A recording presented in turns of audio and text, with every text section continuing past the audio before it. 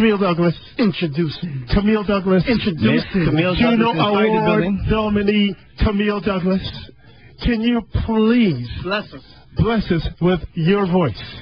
Because it's been too long since we heard it. We want to hear your story.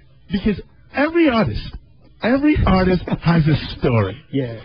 From where they started, how they got into music in the in the beginning, to what inspired them to where they are now. There's always some story.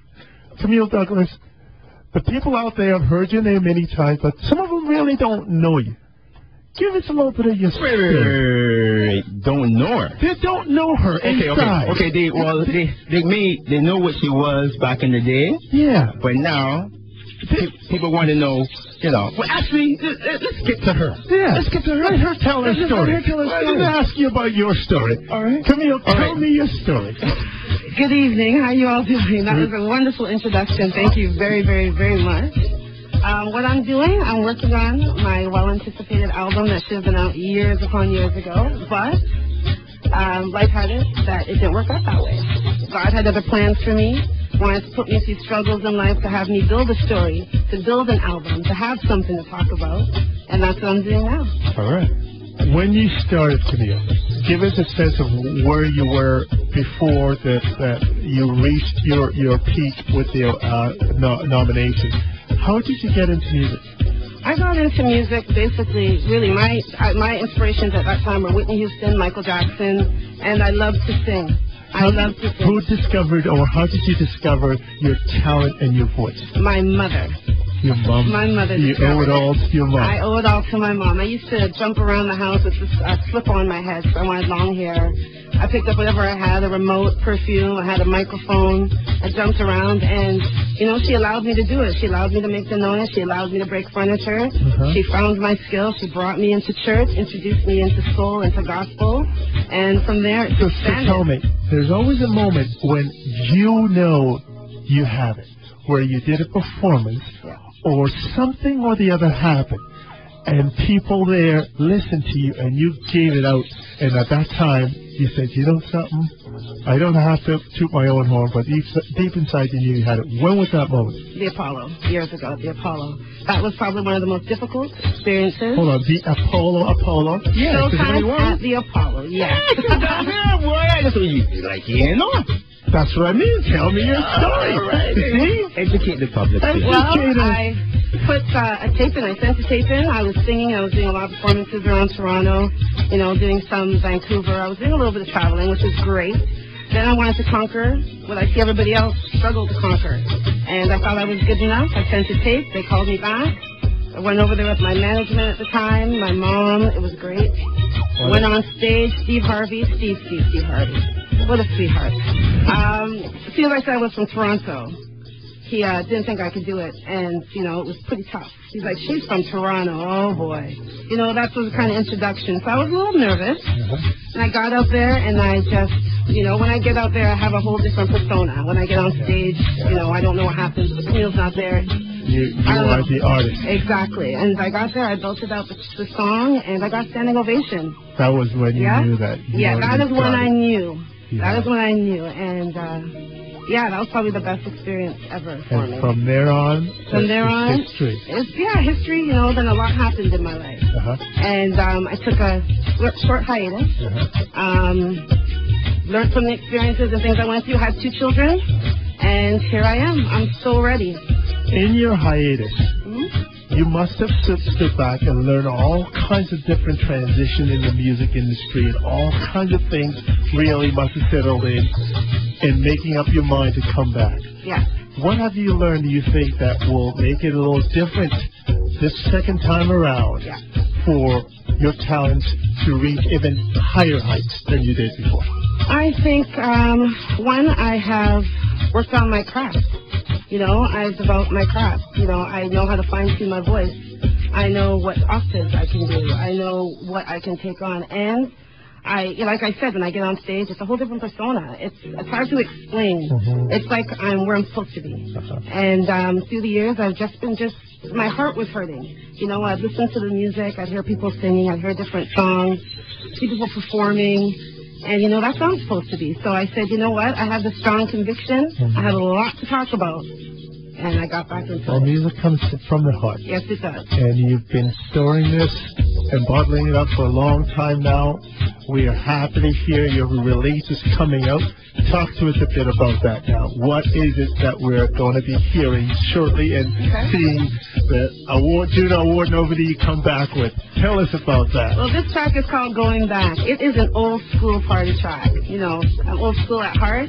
And uh, I just wanted to write something that uh, made me feel good and reminded me of the days when I used to go to the parties and dance. Not just stand up against the wall, Mhm. but dance. I just felt like I wanted to, to write a song about going back to those days and just feeling good. And that's what I did. This is your own lyrics. This is my own lyrics. I penned it myself, produced by Dirt Track Productions. Um, but I wrote the song, and great. All right. All right. So, okay, we're going to play the song right about now. You guys, if you're feeling it, give us a call, 416-736-5656. First time on Rave.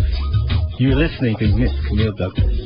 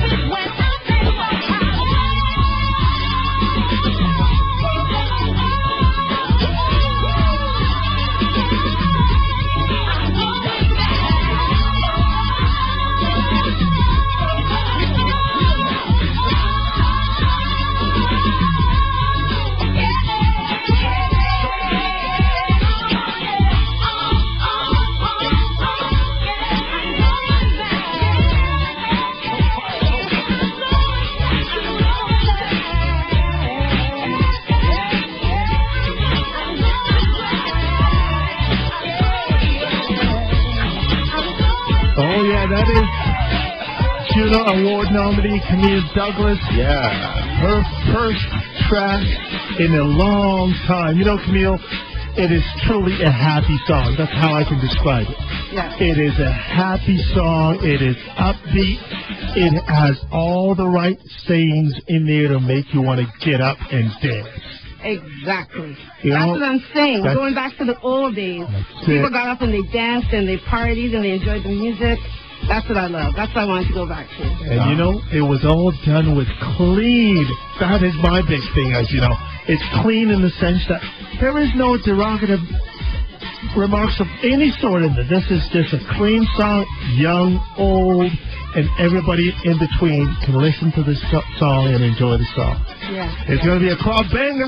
That's it. That's I, it. and so how do how do DJs across the city get, you know, DJ copy so we can Don't worry.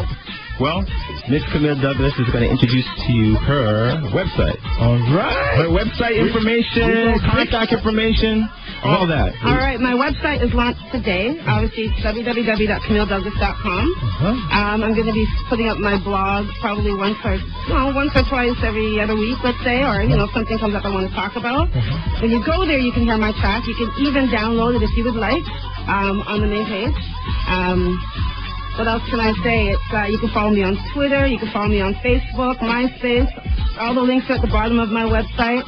And yeah, I'm gonna hopefully probably around May have a webcast where I'm gonna be in the studio with different producers, and I'm gonna invite you to watch live as I record and build my album. Listen, it Yeah. sounds like a star rebirth.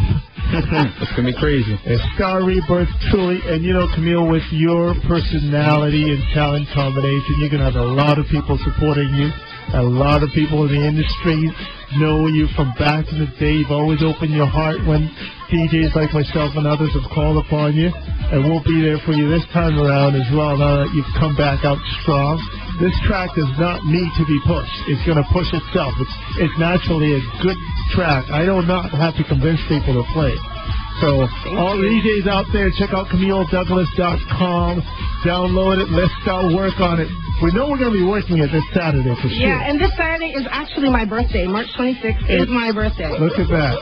Yeah, so this is wonderful for me. It's a great a, day. What a birthday present that we're going to give her that day. We're going to come in massive. We're going to show her some love, and we're going to be all there to, to uh, help you um, launch your uh, your website, your your your. Yep. And your- working on the album for uh, end of 2011, beginning of 2012. Oh, so there's more. yeah, there is an album coming. Yes, there is. All right, so you heard it all. We're going to do a quick commercial break to pay our bills. Uh, if you're feeling Camille Douglas, uh, you can uh, reach her on her website and Twitter and all that information when you get there, I'm quite sure. And then when we come back, she might have a few things to say. So we're going to go to our bill payment when we come back. You're listening to the Confunksion 105.5 CHRY.